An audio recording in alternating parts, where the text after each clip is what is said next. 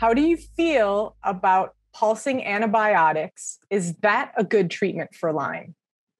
Um, yeah, I, I mean, uh, people default to that. Um, again, I'm biased with the herbs because the herbs work so well for me. And I did in the beginning try pulsing antibiotics, and I just got sick when I was on them, and then everything came back after I was off. Um, the herbs you don't have to pulse. And that's the thing. You need to keep pressure on these microbes. You need to keep these the you know the things that are being reactivated from your cells and and and and uh, are attacking other cells. You need to keep constant pressure on those things. It takes months and really even years to completely wear them down.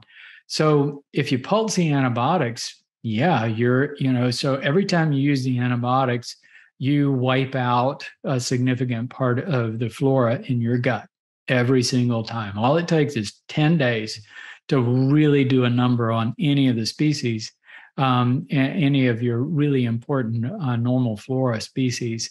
Probiotics can help, but you still do a number on them every single time. So pulsing the antibiotics gives your body a little bit of time to, to rebound, but it also gives time for the microbes to rebound too.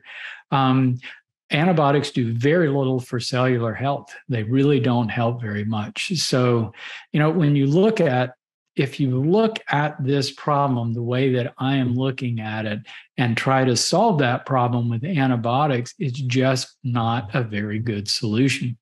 Um, that being said, you can use it um, if you're going to do it, use herbs with it. That might help uh, uh, prevent some of the bad bacteria from really resurging.